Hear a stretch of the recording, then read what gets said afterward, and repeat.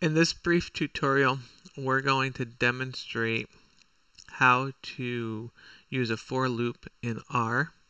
So what we're going to do is we're going to first ask the user to input a number.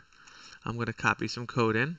So really, we're going to say variable user number, assign it to, once again, read line, asking them to enter a number between 1 and 10. Okay.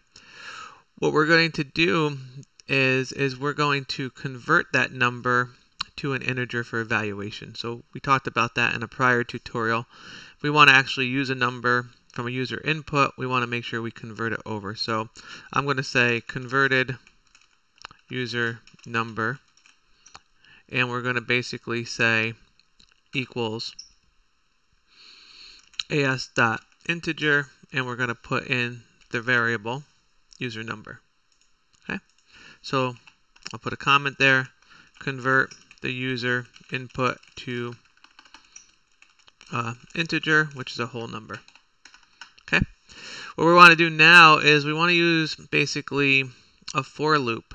Okay, um, so in the case of working with R, for loops are a little strange. Uh, so there's just going to be this thing called um, seq underscore along or sequence along essentially. So sequence along abbreviated. Uh, it's going to look like this. I'm going to put a comment here seq underscore along. It's a built-in function. And so we're going to put a comment a built-in function which is known as a vector but basically creates a sequence of numbers from 1 to the length of the object. So watch how this works. So we're going to create a for loop. We use for, and similar to other languages, we'll establish a variable.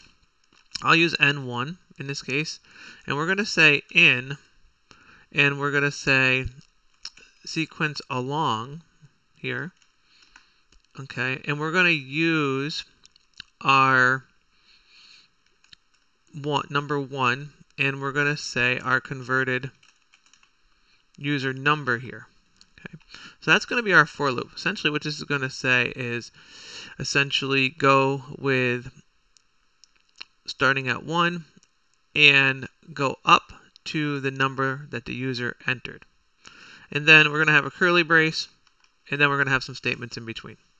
So what we'll do here is we will print your number is and if you remember the paste command from a prior tutorial, we paste two things together for an output. So we're going to say paste, your number is, comma, and then we're going to put our variable n1 there. And we're going to see what that looks like okay? And we're going to close that parenthesis. So what this will do as it goes through the for loop is it's going to basically print out the number starting at 1 all the way up to whatever I enter from as a user. So I'll put my cursor up on line 3 and we will click the I'll make sure my console is clean and we'll click the run command asking for the number between 1 and 10. I will type in 5 and click run and you'll see it does the conversion as we step through and the for loop executes 1, 2, 3, 4, 5. So that's how sequence along works. Now, we can nest loops inside of them one another. So if we wanted to have a secondary for loop, we could certainly put one in there. So just like we saw in other tutorials in other languages, sometimes you have programming needs for that. So there's nothing stopping you for putting other types of loops inside of the for, a nested for loop, um, anything along those lines. So let's say I wanted to do something where I count instead of one, two, three, four, five. Uh, maybe I wanted to uh, do another number for user input. Um, you know, let's say user number 2 and enter a number between 1 and 5. Now we're not ver verifying the input or anything like that. So we're just going to just show you how we can nest a for statement. So I'm going to copy paste here. Just be careful with copy paste. You update everything accordingly. I'm going to take this for statement here as well. And of course, I'm indenting my code. So we make sure that we uh, see that this for statement is executing inside of the other one. And we're going to call this one your next number is, and we'll call this n2. And we'll do that as n2 and we'll make sure we use converted number too. So without all the comments here, but I'll put a comment in nested for loop. So what we're going to see is we're going to see the outer one run, okay, asking us to showing us a number, asking us for user input, and then doing an inner loop, um, presenting that number uh, the same way as what we saw from the first one. So what I'll do is I'll use the broom, clean this up, I'll also clean up my variables over here.